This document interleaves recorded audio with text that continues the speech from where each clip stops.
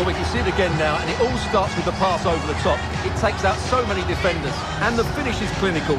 It just makes it look so easy, doesn't it?